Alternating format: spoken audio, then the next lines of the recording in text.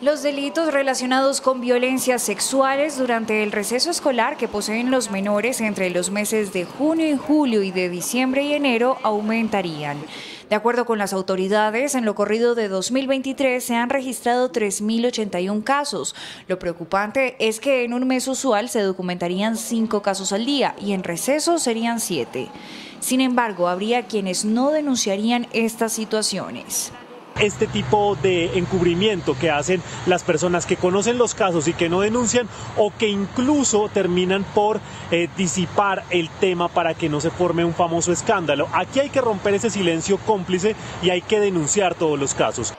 Según las cifras del sistema de alertas de la Secretaría Distrital de Educación, a corte de mayo se han reportado 3.455 casos de presunto abuso y violencia sexual.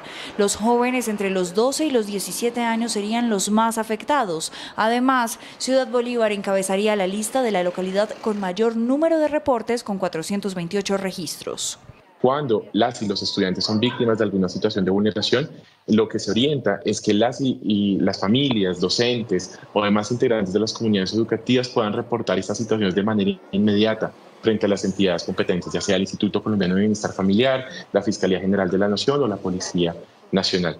De acuerdo con el distrito, para el mes de mayo los principales agresores hacen parte del núcleo familiar. Las denuncias relacionadas a esa tipificación se ubican en los 1.560 casos.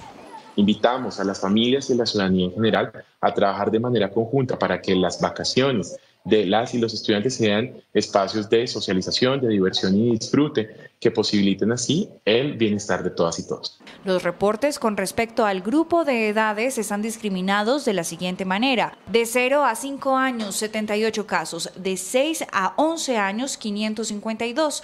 De los 12 a los 17 años, 1.190. Y desde los 18 años o más, 31 casos.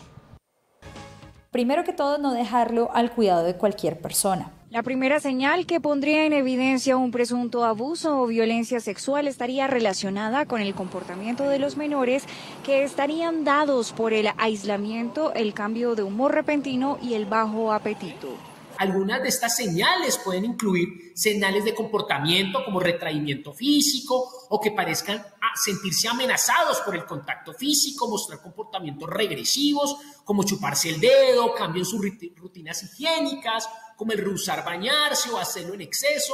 Además, algunos menores podrían presentar comportamientos sexuales inapropiados para su edad e incluso la alteración de los patrones del sueño al experimentar frecuentes pesadillas. Que están al cuidado de una persona, preferiblemente que sea una persona de extrema confianza y aún si es de extrema confianza para los adultos, para los padres, eh, es importante tener ese diálogo también al final de la noche para ver pues cómo le fue al niño, qué hicieron con esta persona, para empezar a identificar si acaso hay algún comportamiento inusual. Los expertos recomiendan tener un vínculo cercano de padres a hijos y en primer lugar demostrarle respaldo y confianza ante lo que el menor esté manifestando. Esta situación suele presentarse en entornos donde se considera se encuentra seguro el niño o niña. Es por esto que los familiares y cuidadores de los niños deben estar atentos de las señales que sugieren un posible abuso sexual.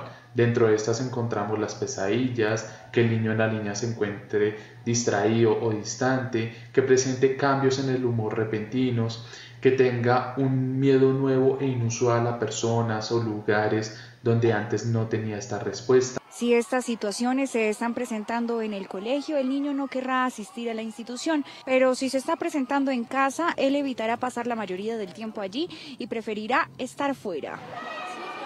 Espero te haya gustado el video. Si quieres saber mucho más acerca de nuestra amada Bogotá, no olvides suscribirte y activar la campanita.